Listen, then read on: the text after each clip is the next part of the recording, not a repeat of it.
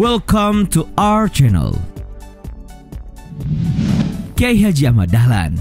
Tentu kalian tidak asing lagi dengan nama ini bukan? Yap, selain mendapat gelar sebagai pahlawan nasional, orang-orang juga mengenal pria kelahiran 1 Agustus 1868 ini sebagai pendiri salah satu organisasi Islam terbesar di Indonesia, yakni Muhammadiyah.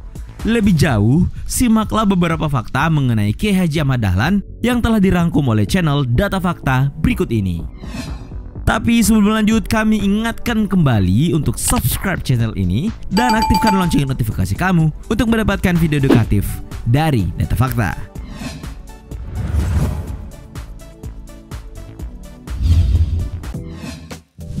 Pendiri Muhammadiyah untuk fakta yang satu ini sudah bisa dipastikan kalau kalian semua sudah tahu. Ya, bukan rahasia lagi kalau nama Kiai Haji Ahmad begitu mentereng sebagai pendiri organisasi keagamaan Muhammadiyah. Bertahun-tahun yang lalu, tepatnya pada tanggal 18 November 1912, Ahmad Dahlan membimbing beberapa pemuda untuk mendirikan Muhammadiyah yang saat itu bertempat di Kampung Kauman, Yogyakarta. Nah, kira-kira apa latar belakang organisasi ini didirikan? Faktanya gagasan ini muncul atas keinginan Ki Haji Ahmad Dahlan untuk mengembalikan syariat Islam sesuai dengan ajaran Al-Quran tanpa terlalu banyak diadaptasi oleh budaya berbagai daerah di Indonesia.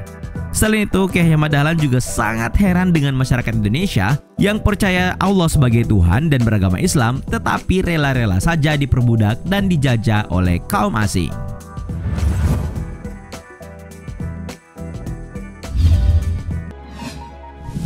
Bergabung ke Budi Utomo. Tahukah kalian, setahun setelah dibentuk, Kiai Haji Ahmad Dahlan memutuskan masuk ke sebuah organisasi pemuda yang didirikan oleh Dr. Sutomo dan para mahasiswa Stovia, yakni Budi Utomo. Yap, tepatnya pada tahun 1909, Kiai Haji Ahmad Dahlan yang memiliki nama kecil Muhammad Darwish memutuskan bergabung ke organisasi yang berdiri pada 20 Mei 1908 tersebut. Nah, faktanya lagi setelah bergabung ke Budi Utomo inilah, Kiai Haji Ahmad Dahlan mendapat ide untuk membuka sekolah sendiri yang diatur dengan rapi dan didukung oleh organisasi yang permanen agar tidak bernasib sama dengan pesantren tradisional yang tutup jika kiai pemimpinnya meninggal dunia.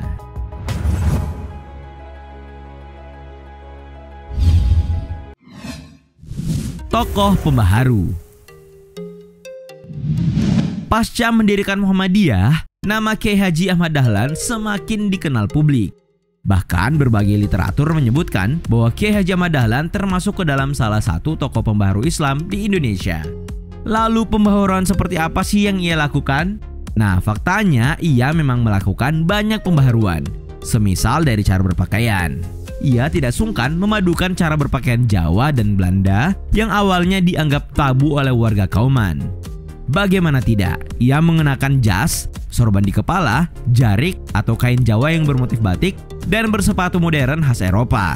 Sementara itu, dari segi kesehatan, Kiai Haji Dahlan juga mengadopsi cara kerja pelayanan kesehatan dari Belanda dan setelahnya berdirilah Penolong Kesengsaraan Umum atau PKU atas usul Haim Sujak, murid Kiai Haji Ahmad Dahlan.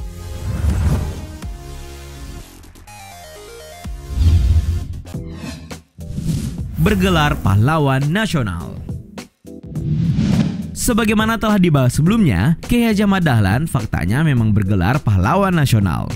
Ya, ia meninggal pada tanggal 23 Februari tahun 1923 serta dimakamkan di Karangkajeng, Yogyakarta dan melalui surat keputusan Presiden nomor 657 tahun 1961, Kiai Ahmad Dahlan dinobatkan sebagai pahlawan nasional.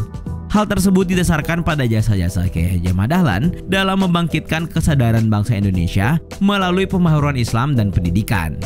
Tentu saja semua kerja kerasnya tak dapat dipisahkan dari keterlibatan ia dalam mendirikan Muhammadiyah yang sekali lagi dianggap sebagai pelopor amal usaha sosial dan pendidikan yang amat diperlukan bagi kebangkitan dan kemajuan bangsa dengan jiwa ajaran Islam.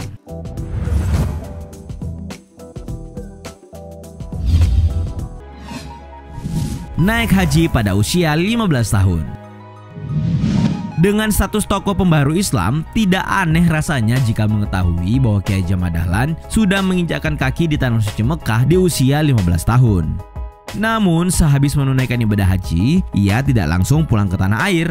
Jalan pendidikan yang ia pilih adalah menetap di sana beberapa tahun untuk memperdalam ilmu agamanya.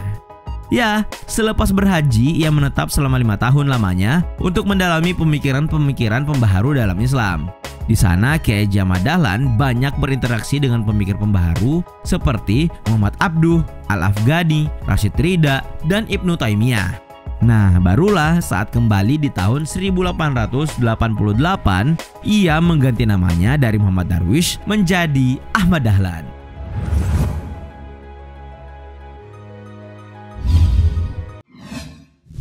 Menikah dengan sepupu sendiri Pernahkah kalian mendengar nama Nyai Ahmad Dahlan?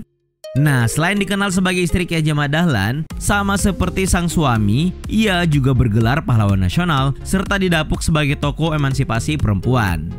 Faktanya, sepulang dari Mekah, Kiai Ahmad Dahlan menikahi seorang perempuan yang bernama Siti Walidah yang tidak lain adalah sepupunya sendiri dan kelak akan mendapat julukan Nyai Ahmad Dahlan.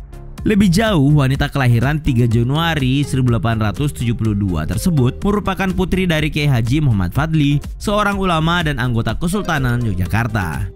Meski begitu, Nyai Ahmad Dahlan bukanlah istri satu-satunya. Sebab diketahui Kiai Haji Ahmad Dahlan memiliki empat orang istri, yakni Siti Walidah, Nyai Abdullah Nyai Rum, Nyai Aisyah, dan Nyai Yasin.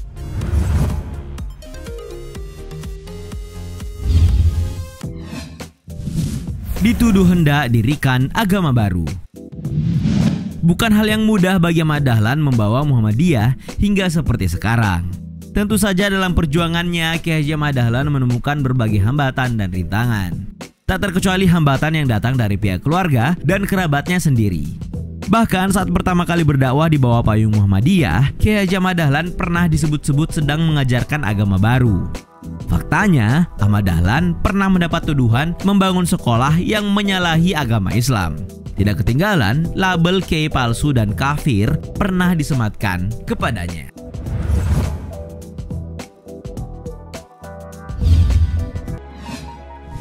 Kisah perjuangannya difilmkan. Tidak bisa dimungkiri bahwa perjalanan hidup Ahmad Dahlan memang menarik untuk diikuti dan mungkin itulah yang ditangkap oleh sutradara kondang Hanung Bramantio. Nah, bagi kalian pecinta film tanah air pasti tidak asing lagi kan dengan film Sang Pencerah?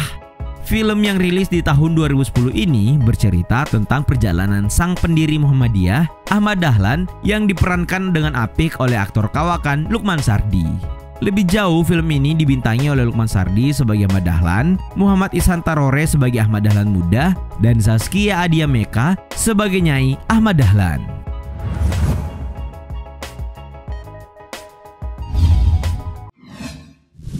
Minim karya tulis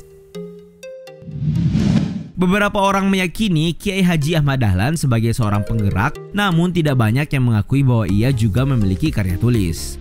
Faktanya, Kiai Dahlan memiliki karya hanya saja berserakan di mana-mana, tidak rapi dan tersusun dalam satu buku. Sebagai contoh, salah satu tulisannya yang berjudul Tali Pengikat Hidup tahun 1923 yang pernah diterbitkan ulang.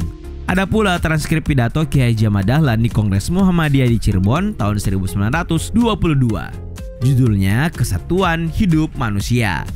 Karya ini kemudian diterbitkan oleh Hufbestur atau HB Majelis Taman Pustaka Muhammadiyah. Tak ketinggalan tulisan Kiai Jamal Dahlan di majalah Suara Muhammadiyah edisi pertama dan kedua. Serta tidak menutup kemungkinan di edisi lainnya Kiai Haji Ahmad Dahlan juga menjadi kontributor. Hal ini disampaikan oleh editor bahasa majalah Suara Muhammadiyah, Bapak Lutfi Effendi berdasarkan rilis kureta.com edisi Desember 2018.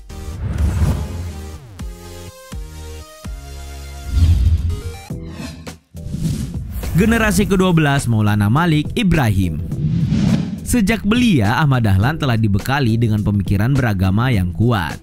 Faktanya, hal ini tidak jauh-jauh dari kenyataan bahwasanya ia adalah generasi ke-12 dari salah seorang wali songo yang terkemuka dalam mendakwakan Islam di daerah Gresik, yakni Maulana Malik Ibrahim. Secara berurut, silsilah yang dimaksud ialah Maulana Malik Ibrahim, Maulana Ishak, Maulana Ainul Yakin, Maulana Muhammad Fardullah atau Sunan Prapen, Maulana Sulaiman Ki Ageng Gribik Jatinom, Demang Jurung Juru Sapisan, Demang Jurung Juru Kapindo, Kiai Ilyas, Kiai Murtodo, Kiai Haji Muhammad Sulaiman, Kiai Haji Abu Bakar, dan Muhammad Darwis atau Kiai Haji Ahmad Dahlan. Itulah tadi fakta seputar tokoh pembaru Islam Kiai Haji Ahmad Dahlan. Nah, menurut kalian, fakta mana yang paling menginspirasi?